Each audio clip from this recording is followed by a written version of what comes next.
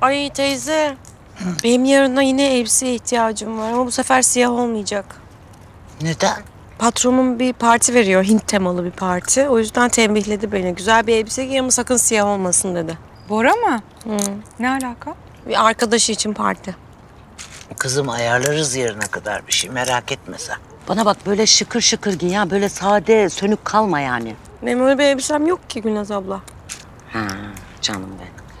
Acaba Ayça'nın kıyafetlerinden mi denesen Karsu? Anneciğim baksın elbette şey yani aynı beden değiliz ya. Yani tabii ki aynı beden değiliz ama olsa bile Ayça'nın kıyafetiyle ben çok rahat edemem orada şimdi. Çünkü çalışıyorum asistanım falan ya yani daha derli toplu bir şey lazım.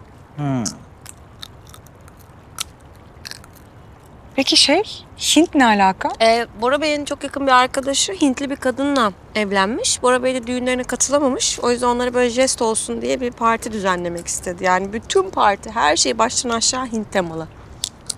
Ha. Ay ne kadar şanslısın ya. Keşke ben de böyle şeylere gelebilsem. Bütün gün evde otur otur sıkılıyorum. Ya seni davet etmek çok isterdim Ayça ama işte dışarıya kapalı bir parti. Nerede olacak peki? Fandarin Otel'de. Neyse iyi eğlenceler size. Gerçi sen çalışıyorsun, eğlenemeyeceksin ama olsun. Yani bu... Abar da gelmiyor herhalde evine. Ben anlamadım yani. Yani öyle geceleri de pek dışarı çıkmaz o ama. Nereye gidelim? Neyse canım ben zaten sık sık geleceğim, gideceğim artık.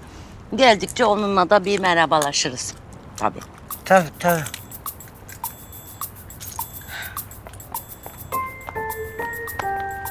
Afiyet olsun. Keyfiniz bol olsun. Aa, canım gel beraber olsun. Merhaba Ayça. Yok olmasın Türkan abla. Çünkü görüyorum ki her yer çekirdek. Ben buna dayanamam yani. Sanki varoş bir mahalle burası. Şimdi bu fırfır ya. Efendim? Lale. Ne o lale mi? O lale bu mu? Ha, üstüne bastın ayağını kaldırmış. Fırfır. Vallahi açıkçası kusura bakmayın ama bana biraz avam, biraz basit geldi bu. Türkan abla rica edeceğim. Yani ben bu sitenin yöneticisiyim. Böyle bir şey müsaade edemem. Bizim sitemiz nezih bir site. Lütfen buraları temizleyelim Türkan abla, lütfen. Ya bir keyfimiz var ya, bir keyfimiz var. Temizleyeceğiz zaten. Ne kadar büyüttün ya öyle. A- pa- Efendim pardon, pardon. Lütfen ağzımızı toparlayalım yani. Ben böyle bir üslup istemiyorum. Aramız bozulmasın. Hiç tanışmıyoruz lütfen. Ben ne dedim küfür mü ettim? Gel gel. Gel tatsızlık olmasın gel. Gel gel. Gel ya. Efendim? Tatsızlık çıkmasın kız gel. Gel gel.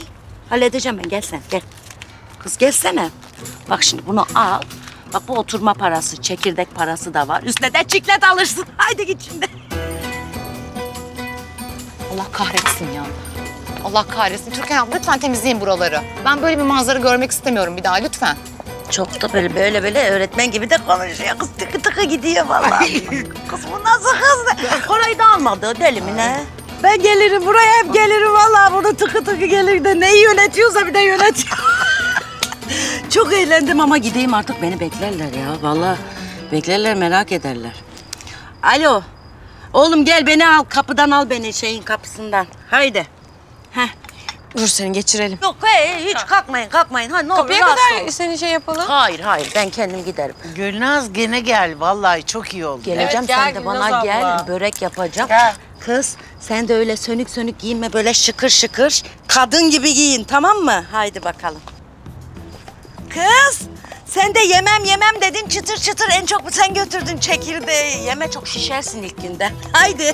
Hadi bay bay. Hadi bay bay. Hadi bakalım. Ay çok tatlı kadınmış ya. Ay ben ilk görüşte biraz sinir olmuştum ama. Teyze sana bir şey diyeyim mi? Daha geçen gün anneme aynı şeyi söyledim. Ciddiye almazsan aşırı tatlı bir kadın. Değil mi?